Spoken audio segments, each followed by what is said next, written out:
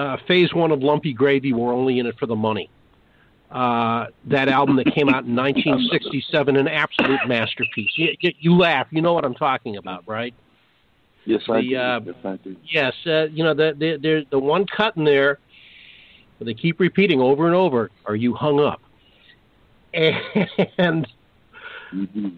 I'm hearing that in this song, and I am so impressed with the way that you were able to blend that influence with a Little Feat influence, with a Cream influence, with Phil Brown's influence.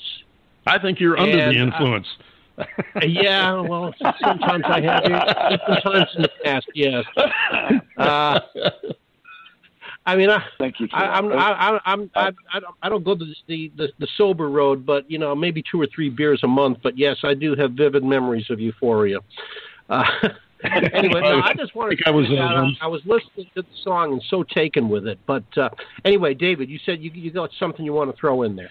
Yeah, we're going to run out of time. I wanted to be sure. And first off, ask Phil, we're going to be able to get you back here again so we can talk more in the not too far distant future. uh, it'd be my honor to come back again. Be our pleasure to have you join us. Now, in the space of about 30 seconds here, tell us a little bit about this next track we're going to play, uh, thing you uh, also supplied for us, and we're very glad. I want to get this on before we run out of time. It's called Cries and Whispers. Tell us about it, Phil. Originally, I was signed to Warner Brothers as a writer, and a friend of mine from England said, "Let's write something for Roger Daltrey." So we did. He never cut this, and then over this last year, I said, "I should remake that song." So I did. And what you're hearing is what we were thinking of. You'll hear the Tony Bennett influence, and I was a huge fan of the Rat Pack, so this song sort of came out of that Yeah. songwriting genre that came out. Uh, you guys have a listen. I hope you like it. Fantastic. A totally different sound. I think our listeners are going to like it too. Phil, thank you so much for coming and sharing Thank with you, us Phil. today. We definitely want to have you come back in the future and you get that album made. Uh, give us a holler. We'll be glad to help you uh, premiere it and kick it off. Ladies and gentlemen, Phil That sounds Brown. fantastic. Uh, you can go to philbrownguitar.com. Find out more information if you want. Great. Thanks again. Phil Brown, ladies and gentlemen, Cries and Whispers. You crossed my mind today. Though you're a million miles away. And though you made me cry, I'll take you back any old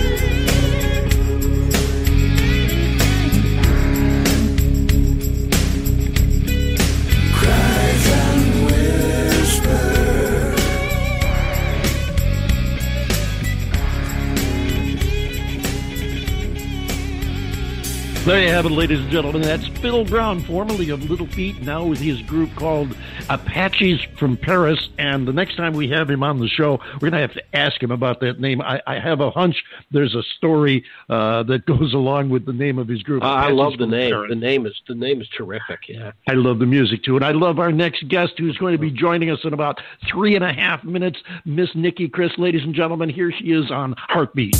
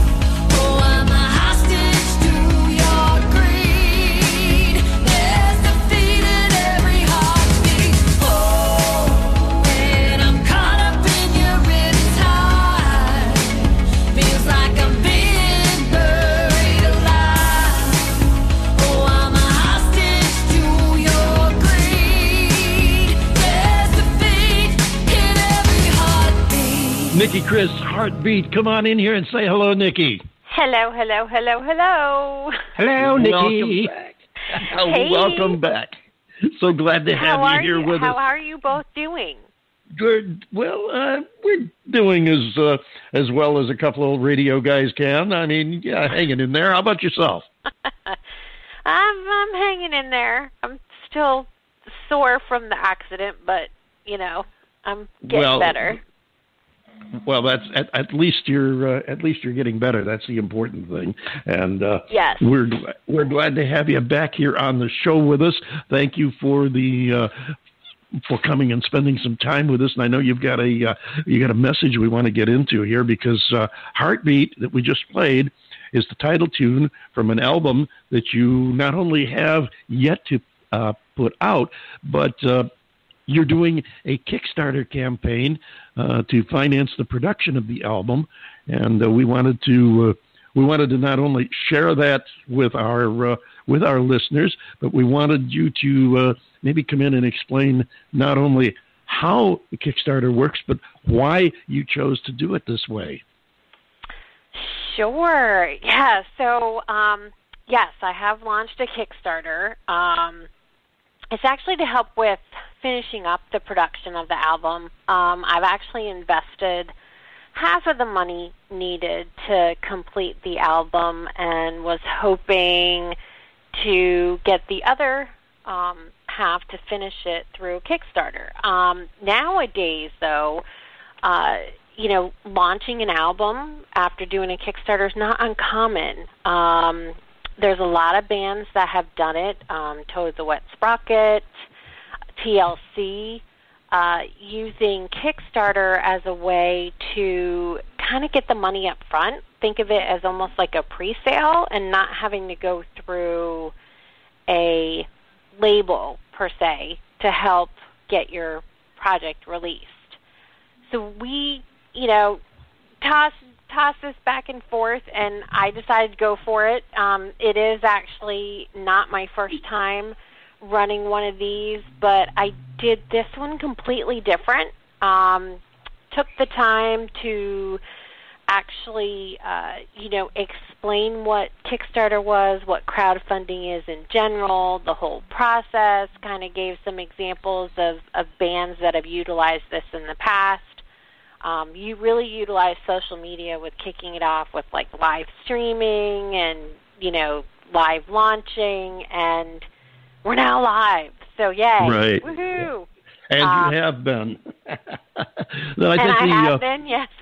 yes, you have been. Uh, we have seen you around uh, social media over the last few days since you started this campaign. I think the uh, the important point for uh, for the listeners, especially, is the fact that uh, it, it, to understand that the it's a double edged sword.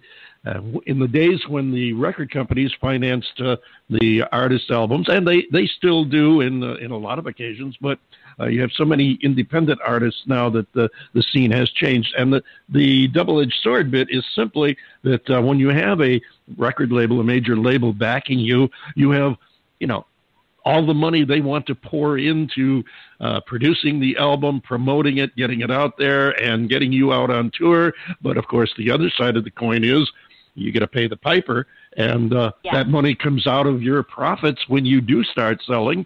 And if you don't sell a lot of uh, a lot of uh, music, then they're uh, they're not going to look too favorably on you. This way, by doing a Kickstarter campaign and financing it yourself, uh, you are obligated really to no one but the fans.